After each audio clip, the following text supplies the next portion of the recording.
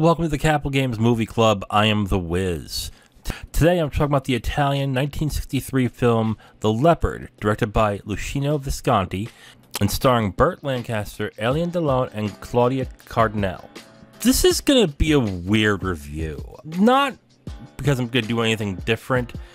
I, I gotta be honest, I'm a little confused and a little conflicted as, as to my feelings of this film, but I'll I'll just get down to the specifics uh, in regard to the film, and maybe I will figure it out as the review goes along, or maybe we'll all just be confused together while we listen to me figure this out. We'll, we'll see what happens. Okay, The Leopard is an Italian film that it, it's really strange to think about this. It stars an American actor who does not speak Italian. It also stars a French actor who does not speak Italian, and then, of course, stars an Italian woman who does. That right there, I thought was really interesting. I didn't know that going in. The only thing I knew was Burt Lancaster, and I thought it was really strange that that uh, like I was gonna watch this film go, oh, he clearly is not comfortable with the, the Italian language. And when I watched it, I was really surprised that he actually, when I was watching it, I was like, wow, he actually does it really well. Well, it turns out that th- the whole thing was dubbed, but uh, at no point was I watching the film and going, oh, this is clearly dubbed.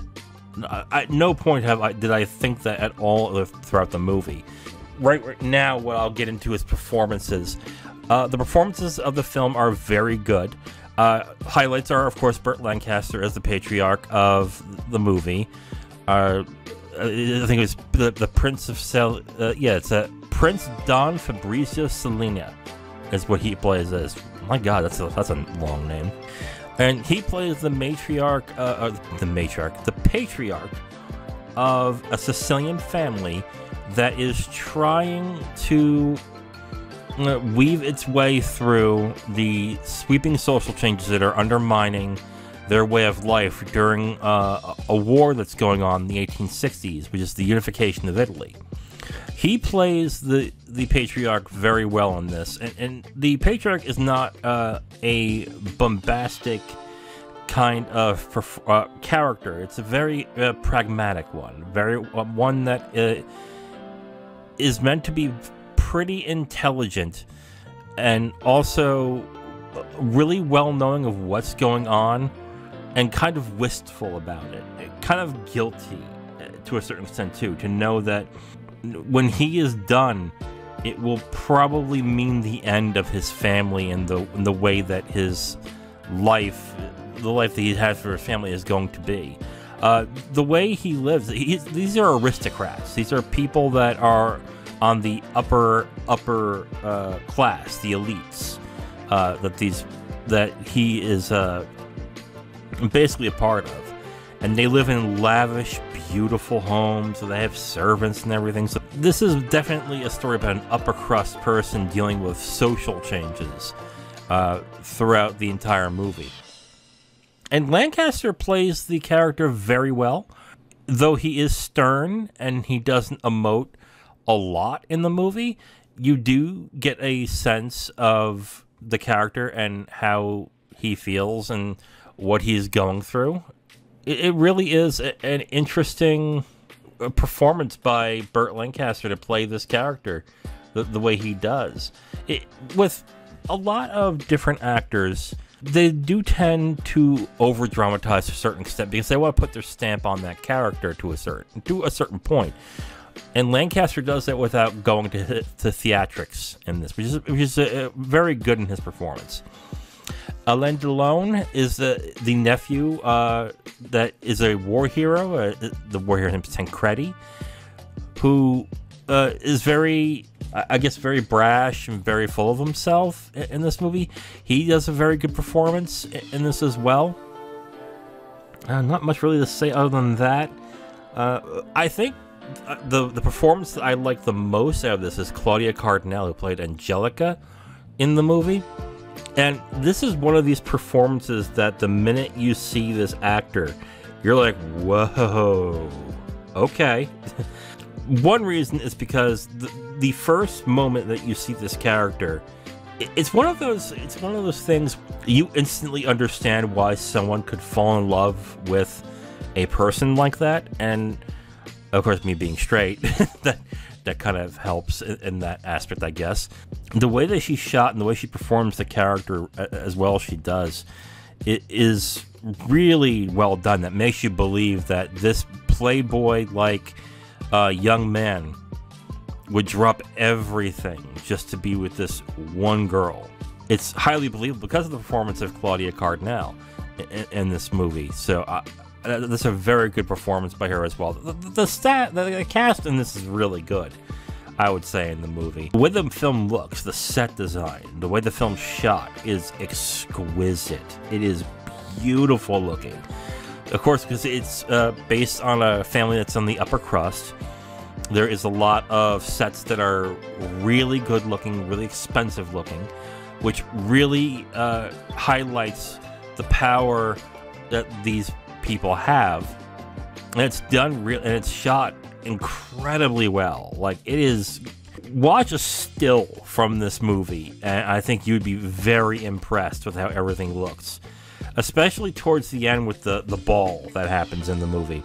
Yeah, you will. I, I, I, it would be really hard for to be not be impressed with how this film is shot and how it looks. Like it is a gorgeous looking movie, and not even just when you're inside these opulent houses. When you're outside too, in in the in the wilderness and, in the dusty streets, and when you're in the the poor houses and stuff like that. Like it's gorgeous to look at. It, it is just the way it is shot. It is shot is really good, like really good looking movie to to watch in this.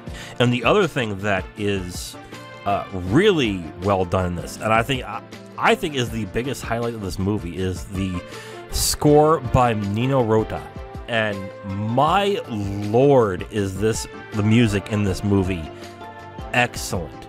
Not only does it fit the theme and the feel of the movie quite well, but the, just the way that it flows and the way that it sounds throughout the entire film, just hits on a different level when you watch the movie. It is God, like there are, and I'm not a classical movie guy. I a classical movie guy. I'm not a classical music guy. I don't necessarily geek out over music, but when I do, it usually is pretty exceptional. But this also isn't really a surprise, since this is a guy who regularly collaborated with uh, Federico Fellini. He was in. He was the one who did the score to The Godfather. Uh, he's got a lot of different movies that he's been in that has proven that he is exceptional at the job that he's done. And this is just another one of those movies that it is just beautifully, exquisitely done.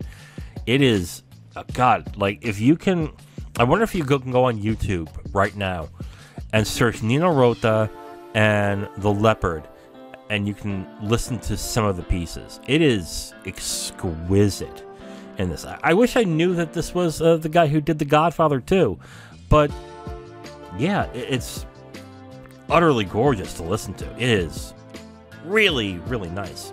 Okay, so I'm praising like all of the separate elements, the way it's shot, the way it's acted, the music, the the cinematography, the sets. I'm I'm praising all of it. So here's where the weird part comes in with my review. I am not sure how I feel about this movie as a whole, as the story and everything. I I can definitely say I like the movie. I can definitely say that for certain. But this is a hard movie for me to sit down and give a score on, which is why I fucking hate review scores. I've always hated review scores. But anyway, watching this movie, it, it does everything really well. It, it really does. It, from acting to directing to writing, everything is just impeccable. It's really well done. I didn't get that feeling that I get when I know I've seen an amazing movie. I didn't get that feeling when I know I've seen something special or when I've seen something that is just a, a cut above the rest. Something that is just something that I said I, I just seen one of the best movies I've ever seen in my life. Like I, I, I did not get that feeling coming out of watching this movie, even though, like I said, the pieces towards it, the the the way the film looks, the music, those are impeccable and some of the best I have seen. I'm just not sure even though those pieces are really well done, that if you put them together, it necessarily makes a whole that carries that same feeling that I would get from a movie that I would call exceptional, that I would call like amazing. All the superlatives that you can come up with that are is just a really good movie. I think the the pieces of this film are really well done. It's just really hard. Like I've I saw this on Monday. It is now Wednesday. I had a I had a health issue Tuesday, which is why I did not record this uh, that day. Yeah, so I, I didn't record it right away, which I thought would have been good for me because then I can think about this movie more. It really it really comes down to the rating I would give it. to be completely honest, I could just throw a four star in here and be okay with it, but that also wouldn't be fair to a certain extent, I think. The the story itself is interesting. You're definitely watching the political maneuverings and the way that the world works in regards to marriage and proper etiquette and stuff like that. That stuff's interest that's interesting in its own way. I'm just not sure if all that stuff marries into a cohesive whole. It is. Oh man, I I'm probably losing myself thinking thinking this through, and probably confusing some of you when I'm saying this. It's really hard for me to, you know, it might take more time and repeat viewings to figure this out. Which fine, that that happens. A movie that is considered one of my favorites of all time is a movie that I, I didn't I, I thought was okay at first, which was Y Tu Mamá También. When I first saw that, I thought, yeah, okay, it's fine. It's a good movie. Nothing exceptional. But as time went on, turned into one of my most favorite movies of all time. And something tells me The Leopard is going to be something along those lines too. I'm watching the movie and enjoying the pieces of it, the the the parts of it that I can grasp that I can say that are, are of high quality. And I can enjoy that stuff and recognize that it is impeccably done that way. Maybe it'll just take time for me to watch this movie again or think about it deeper. I think I will just need time, more time, I guess, to really think about the film and what it and what I get from it and how it makes me feel and and stuff like that. Like I'm not gonna sit here and say I don't know if I love it or hate it or not. No, I like the film. I do. I think it's a, a really good looking film. And again, the parts of it, the, the music, the, the performances are really well done. I just don't know how I feel about the whole film. Yeah, that's kind of where I have to leave it which is strange. I guess right now, if I were to give it a review score, it would be four stars. It, it really, four out of five.